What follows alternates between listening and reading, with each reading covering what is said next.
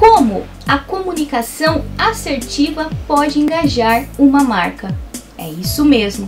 A partir do momento que você estabelece uma boa comunicação dentro do seu ambiente corporativo, existe uma possibilidade muito grande de a sua marca ser expressada também fora do ambiente corporativo de uma forma muito mais positiva.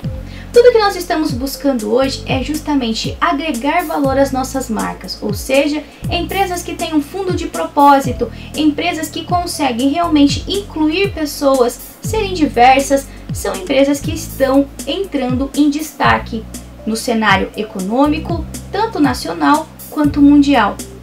O processo de comunicação ele inicia da intenção da empresa em querer fazer com que os colaboradores conheçam disseminem todas as informações que são importantes naquele ambiente corporativo.